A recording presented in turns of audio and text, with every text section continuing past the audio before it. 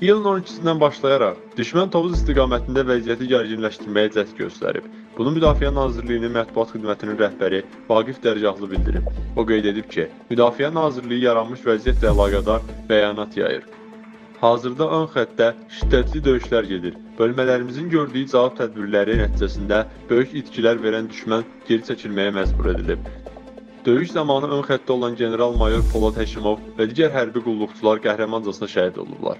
Düşmənin aktiv fəaliyyətinin qarşısının alınması məqsədi ilə komandanlıq tərəfindən görülmüş cəza tədbirləri nəticəsində düşmənə məxsus müxtəlif təyinatlı hərbi texnika, döyüş vasitələri, komanda məntəqələri, tərinliklərdə yerləşən ehtiyatları və yüzlərlə canlı qüvvəsi məhv edilib.